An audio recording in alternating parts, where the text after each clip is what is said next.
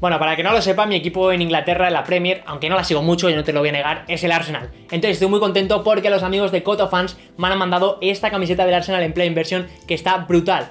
Si quieres conseguirla, quédate hasta el final del vídeo que te lo voy a explicar. Y antes de comenzar, si no has visto esta camiseta, pues está bien, te dejaré la tarjetita del vídeo. Y si quieres que, que Fans me mande más camisetas, pues es importante que dejes un like, que te suscribas al canal, que active la campanita. Ponme en comentarios qué camiseta te gusta más, esta del PSG o esta que vamos a analizar ahora. Que ahora es que sí, comenzamos. Bueno, pues aquí la tenemos, es brutal la camiseta. En Player Version siempre digo que son mejores. Eh, como ya sabéis es falsa, pero está muy bien conseguida. Si la comparamos esta player version con una player version original de 120 o 140 euros, se va a notar la diferencia, ¿vale? O sea, se va a notar la diferencia. Pero por el precio que pagamos creo que está muy bien y siempre recomiendo más las player que las fan. Como estáis viendo, quedan más apretadas al cuerpo. Yo es que poco... Este es súper fuerte, esto es una talla M, pero si yo estuviese un poquito más fuerte o pesase un poquito más de lo que debo pesar, pues igual sí que me quedaría más ceñidita, que es lo que es. Mucho me preguntáis si es mejor comprar una talla más. Yo en todas las camisetas uso una talla M, y en todas las camisetas, sea de fútbol, sea lo que sea, compro una talla M. Vosotros ya veréis, yo lo que os digo y veis cómo me queda. El caso es que la camiseta está brutal, vamos a pasar ya a analizarla en cuanto al diseño. Aquí lo que importa es Adidas y creo que ha hecho un diseño bastante, bastante guay. Con estas líneas así, estas eh, cruces, que queda bastante, bastante guapo, la verdad, o sea, guapo, bueno, no es... queda bien, queda bien. Y tiene que ver porque era como la parte de un escudo de una A que el Arsenal utilizó como escudo, propiamente dicho, en los años 30 y 40 del pasado siglo. Entonces, pues han adaptado eso a unas una especie de líneas por aquí, a mí me flipa, o sea, creo que queda brutal y creo que es una camiseta muy muy chula. Eh, ya sabéis que a medidas no me gusta mucho, pero los dos diseños que lleva con el Arsenal me están gustando un montón y como digo, está genial. Y en cuanto a material, pues ya lo hemos hablado, o sea, está genial. Es una típica player de Adidas y la verdad es que los chinos lo hacen genial. Vamos a analizarla punto por punto, me encanta siempre el escudo del Arsenal en player version, está brutal, con el relieve, con todo, como siempre nos callamos y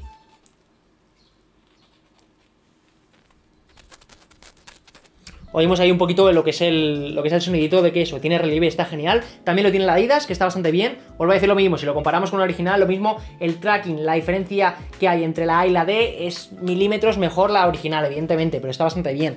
Y luego también la publicidad está bien, esto siempre suele estar bien, en ¿eh? la pagatina, aquí nunca me he encontrado ningún problema. Vámonos a la parte de abajo, en la parte izquierda encontramos el GATRDI, que es la eh, la tecnología que utiliza Adidas para hacer las camisetas Player Version, es decir, versión jugador, aunque sea falsa, pues lo tiene, y también tiene la autenticidad, en este caso 2021 autenticidad de Adidas, que es lo mismo, que sea falsa, los chinos siempre ponen la etiqueta. Vamos al cuello, es un cuello súper básico, un cuello redondo en blanco, no tiene más, pero creo que queda muy bien con el rojo, y sin más. No es el más estético del mundo, pero cumple su función y a mí me gusta bastante este tipo de cuellos.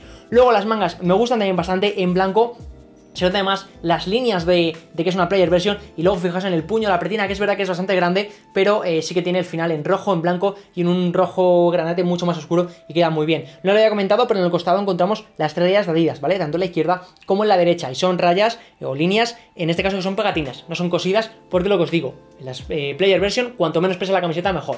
Nos vamos a la manga izquierda, tampoco encontramos nada, ¿vale? Los amigos de Goto Fans me la han mandado sin parches, es un poco pena, pero bueno, ya sabéis que los parches en páginas chinas suelen venir igual. Y vamos a ir a la parte de atrás, pero antes, oye, deja tu like, ¿no? Suscríbete al canal, activa la campanita, ¿no? Un poquito. Venga, vámonos a la parte de atrás. Vámonos a la parte de atrás, tampoco tenemos nombre y número, lo que sí tenemos aquí es un trozo blanco que no sé por qué día suele hacer Meter aquí esto así como en blanco no me gusta mucho, hubiese preferido todo en rojo. Y lo que sí vemos en su máxima esplendor es este gráfico que os comentaba con el antiguo escudo del Arsenal, que queda muy, muy bien. Y fijaos aquí lo bonito que queda el cañón con un hexágono, queda brutal, o sea, me gusta un montón cómo queda y la verdad es que me gustaría que, de hecho creo que el año que viene seguramente lo veamos, que el escudo del Arsenal, ¿no? En lugar de ser, por cierto, veis aquí la pagatina, en lugar de ser este escudo que sea solo el cañón, creo que el año que viene en la segunda equipación lo vamos a ver, ya lo dijimos en el vídeo de filtraciones que os dejo por aquí. Sin nombre y sin número, es una pena, pero bueno, aún así, pues la tenemos aquí, la puedes analizar y si tú quieres conseguirla, quédate, porque ahora mismo te lo voy a explicar. Bueno, la verdad es que el precio de la camiseta de, de Goto Fans está genial. Son 15 dólares la player version, eso sí, sin parches y sin nombre y sin número, pero así creo que está bastante bien. El envío con ePacket y con eh, China Post es totalmente gratuito. Como siempre les digo, yo suelo comprar con ePacket de 2 a 5 semanas, más o menos, 2 semanas, un mes y medio. A mí me ha tardado más o menos 3 semanas, un mes creo que fue, así que está bastante, bastante bien.